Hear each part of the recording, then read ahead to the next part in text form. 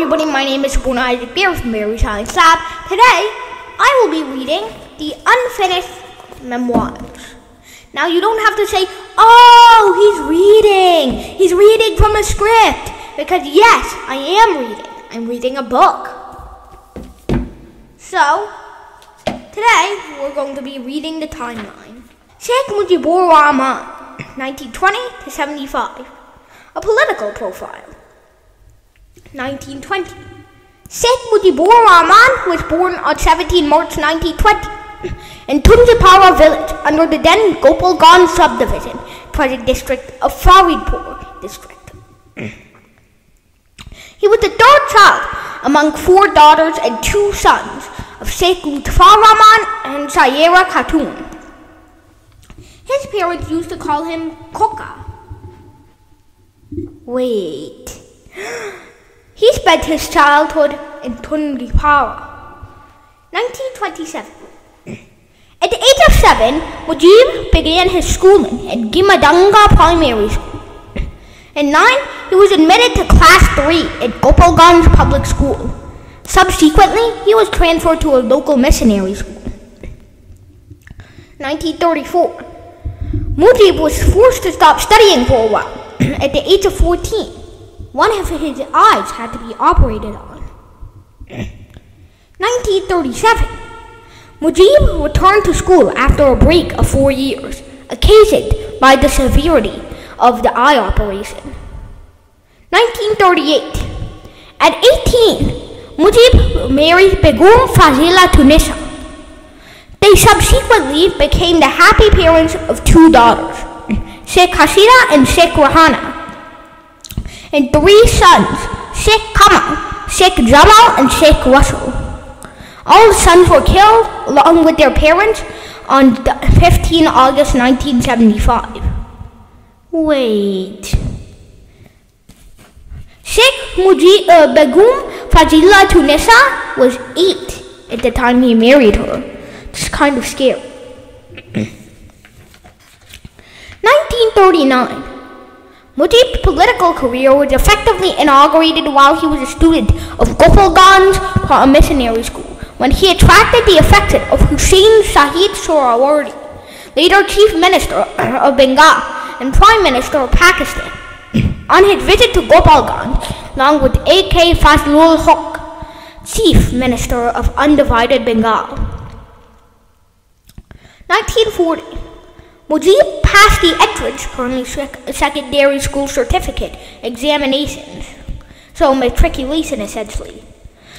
He was admitted as an intermediate student in the art faculty of Calcutta Islamia College, where he had lodgings in Baker Hostel. The same year, he became actively involved in the movement for the creation of Pakistan. 1943. Mujib's busy and active political career took off in the literal sense with his election as a councillor of the Muslim League. 1944. Mujib took part in the conference of the All Bengal Muslim students held at Kushtia, where he played a significant role. He was also elected secretary of Faridpur District Association, a Kolkata-based organization of the residents of Faridpur. 1946. Mujib was elected General Secretary of Islamia College Students Union. 1947. Mujib obtained a Bachelor of Arts degree from Islamia College under Calcutta University. When communal riots broke out in the wake of the partition of India and the birth of Pakistan, he played an active role in protecting Muslims containing the violence. 1948. Mujib took admission to the law department of Dhaka University. He founded the Muslim Students League on 4 January. He rose in spontaneous protest on 23 February when Prime Minister Khawaja Nazimuddin declared at the Legislative Assembly the people of East Pakistan must accept Urdu as their state language. Khawaja Nazimuddin's remarks led to a storm of protest among the, across the country. Sheikh Mujib immediately plunged into hectic, hectic activities to build a strong movement against the Muslim League's move to make Urdu the only state language of Pakistan. On the 2nd of March, a meeting of the workers of different, different political parties was held to plan the course of the movement against the Muslim League on the language issue. The meeting held at Fazlul Muslim Hall approved the resolution placed by Sheikh Mujib to form an all-party state language action committee. The Action Council called for a general strike on 11 March to register its protest against the conspiracy of the Muslim League against the Bengali language. On the 11th of March, Mujib was arrested, along with some colleagues, while they were holding a demonstration in front of the Secretariat building. The student community of the country became restive following his arrest. In the face of student protests, the Muslim League government was forced to release Mujib and all other student leaders on 15 March. Following his release, the All-Party State Language Action Committee held a public rally at Dhaka University Amtala ground on the 16th of March. Mujib presided over the rally, which was soon set upon by the police. Protest the police action, he immediately announced a countrywide student strike on 17th March. He was arrested again on 11th of September for joining the movement against the cordon system in Faridpur. 1949. Mujib was released from jail on the 21st of January. He extended his support to, uh, to a strike called by Class 4 employees of Dhaka University to press home their various demands. The university authorities imposed a fine on him for leading the movement of the employees. He rejected the unjust order. Mujib was arrested for staging a sit-in strike before the vice chancellor's residence. When the East Pakistan Awami Muslim League was formed on 23 the 23rd of June, he was elected as joint secretary despite his imprisonment. He was released in late June. Immediately after his release, he began organizing a movement against the prevailing food crisis. In September, he was detained for violating Section 144. However, he was later freed. He raised the demand for Chief Minister Nurul Amin's resignation at a meeting of the Awami Muslim League in October. The Awami Muslim League brought out an anti-famine procession Dhaka on the occasion of Pakistan's Prime Minister Liaquat Ali Khan's visit to the province. Once again, Mujib was arrested and jailed for leading the demonstration. 1952. At a public meeting on 27 January, the Prime Minister of Pakistan, Khawaja Nazimuddin, announced that in terms of the declaration of Mr. M.A. Jinnah and Muhammad Ali Jinnah, Urdu would be the only state language of Pakistan. The students, youth activists, and members of the civil society immediately protested, just as they had done in 1948. Although Mujib had been incarcerated since 1949, he had managed to establish contact with the politically active leaders and workers, and through them he ensured that an all-party state language action committee was formed. He encouraged them to observe 21 February as a state language day. At the same time, he had informed the authorities that he was determined to go on an indefinite hunger strike from 16 February in order to protest his incarceration without charge under the Public Security Act. Soon afterwards, to, uh, on the 14th of February, the authorities moved him from Dhaka, Dhaka jail and sent him to Faridpur jail. On the 21st of February, the student community violated the prohibitory order uh, under Section 144, and they were fired upon by the police. As a result of their repressive action, wait, 21 February, on the following days, Salam, Barkat, Rafiq, Jabbar, Safiur, Abdul Awal, and Ohiullah were killed, and they are now recognized as martyrs of the language movement. So there were more than just Salam, Barkat, Rafiq, and Jabbar. Mujib's hunger strike continued for 13 days, and his health began to seriously deteriorate. The authorities were therefore compelled to release him from jail on tw the 28th of February. 1953.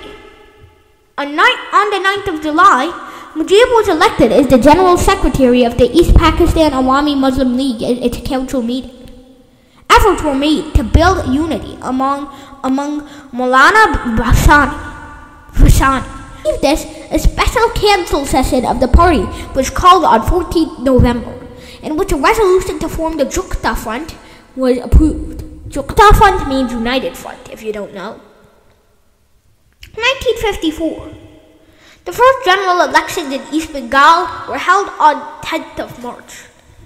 The United Front won, 200, won 223 seats out of 237. The Awami League was victorious in 143 seats. Mujib won the election for the Gopalganj constituency by a margin of 13,000 votes, defeating the influential Muslim League leader Wahiduzzaman. He took oath on 15 May as Minister for Agriculture and Forest in the new provincial government. The central government arbitrarily dismissed the United Front ministry on the 29th uh, of May. Mujib was once again arrested when his plane landed at Dhaka airport from Karachi on 30th of May. He was released on the 23rd of December. That's a lot of arrest and jail time. 1955. On the 23rd of June, the Working Committee of the Awami League uh, took a decision that the Awami League members, the, legislat- the Legislative Assembly, would resign if autonomy was not granted to East Pakistan. On the 25th of August, Mujib told the Pakistan Constituent Assembly in Karachi, Sure, you will see that they want to use the phrase East Pakistan instead of East Bengal. We have demanded many times that you should use uh, Bengal instead of East Pakistan. The world, well, the word Bengal has a history and a tradition of its own.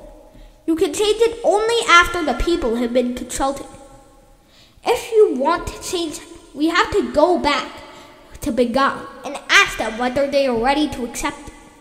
So far as the question is one unit is concerned, uh, it can be incorporated into the Constitution. Why do you want it to be taken up right now? What about the state language, Bengali? We are prepared to consider one unit with all these things. So, I appeal to my friends on that side to allow the people to give their verdict in any way, in the form of referendum or in the form of plebiscite. On 21 October, the Awami Muslim League dropped the word Muslim from its name as at a special council meeting to make uh, the party a truly modern and secular one. Mujib was re-elected General Secretary of the party. 1956. On the 3rd of February, the Awami League leaders, during a meeting with the Chief Minister, demanded that the subject of provincial autonomy be included in the draft constitution. On the 14th of July, at a meeting, the Awami League adopted a resolution opposing the representation of the military in the administration. The resolution was moved by Mujib. On the 4th of September, an anti-famine procession was brought out under the leadership of Mujib, defying Section 144. At least three persons were killed when police opened fire. I believe it's people, but persons were killed when police opened fire on the procession in the Chowk Bazaar area.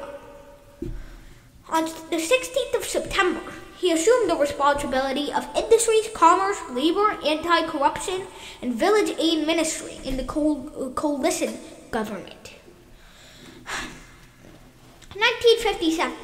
On the 30th of May, in response to a resolution of the party, Mujib resigned from the cabinet to strengthen the organization by working full time. From the 24th of June to the 13th of July, he visited China on an official tour. 1958. Pakistan's president, Major, uh, Major General Iskander Mirza, and the chief of Pakistan's army, General Ayub Khan, imposed martial law on the 7th of October.